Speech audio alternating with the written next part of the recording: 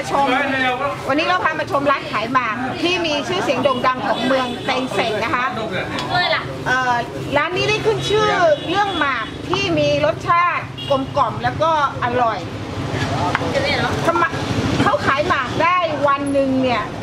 หนึ่งล้านจาร์ดหนึ่งล้านจาร์ดคิดเป็นเงินไทยเนี่ยก็จะตกประมาณ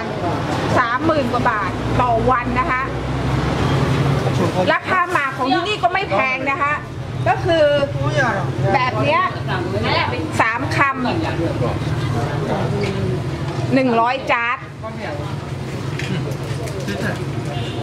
และถ้าเป็นกระปุก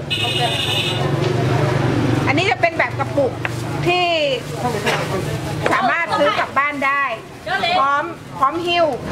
ก็คือจะอยู่ที่กระปุกละ 300 จัด ข้างในจะมีประมาณ 9 อม 9คำหมากของที่นี่นะคะ จะใส่ก็คือภาษาไทยก็คือใบพลู